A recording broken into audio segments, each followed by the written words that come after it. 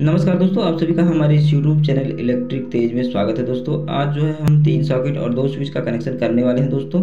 तो यहाँ देख सकते हैं, हम इस बॉक्स को यहाँ से खोल लेते हैं और दोस्तों यहाँ देखते हैं।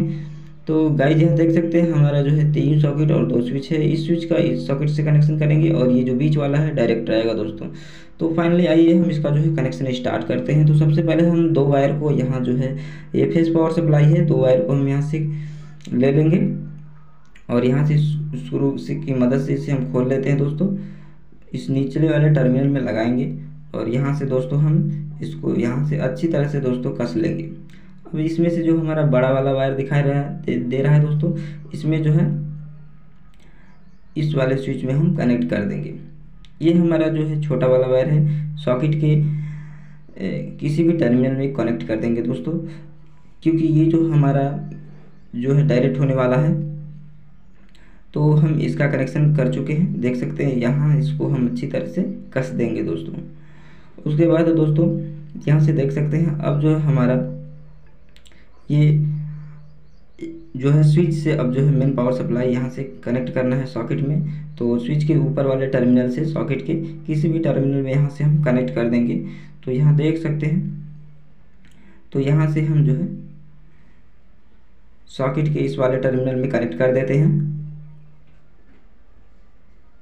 तो फाइनली कनेक्ट हो चुका है। उसके बाद जो है, इस स्विच से, इस स्विच से हम जो है, इस वाले सॉकेट में कनेक्ट कर देंगे दोस्तों।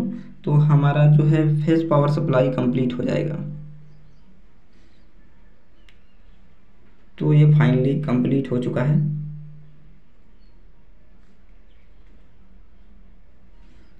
तो ये हमारा फेस पावर सप्लाई कंप्लीट हो चुका है दोस्तों। अब जो हम पीले वायर जो है न्यूट्रल पावर सप्लाई देंगे। यहाँ से हम दो वायर लेंगे।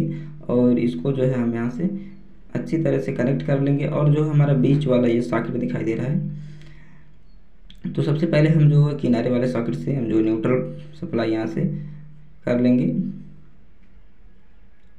तो हम इसको जो है कनेक्ट कर चुके हैं। अब जो हमारा ये बीच वाला सॉकेट है, इसके जो है ये टर्मिनल जो बचा है, उसमें हम जो एक बार कस लेंगे दोस्तों। तो ये हमारा हो जाएगा न्यूट्रल पावर सप्लाई कंप्लीट अब जो हमको देना है मेन पावर सप्लाई फेस और न्यूट्रल तो हम नीले वायर को जो है स्विच में कनेक्ट कहीं दोनों स्विच में कहीं कनेक्ट कर देंगे दोस्तों।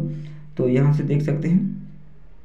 तो ये जो हमारा नीला वायर है या सॉकेट में कभी कनेक्ट कर सकते हैं। तो इस स्विच में हम जो है कनेक्ट कर देंगे दोस्तों। तो इस स्विच को थोड़ा सा ढीला कर लेते हैं। उसके बाद जो है इसमें हम लगा कर यहाँ कस देंगे। तो ये हमारा हो जाएगा फेस पावर सप्लाई और न्यूट्रल जो है हम पीले वायर से किसी भी टर्मिनल से दे सकते हैं दोस्तों, ठीक है? तो हम किनारे वाले इस टर्मिनल से जो है न्यूट्रल पावर सप्लाई दे देते हैं, ठीक है? तो हम जो है इसको यहाँ से कनेक्ट कर चुके हैं। देख सकते हैं? अब जो हम इसको यहाँ से कस लेंगे।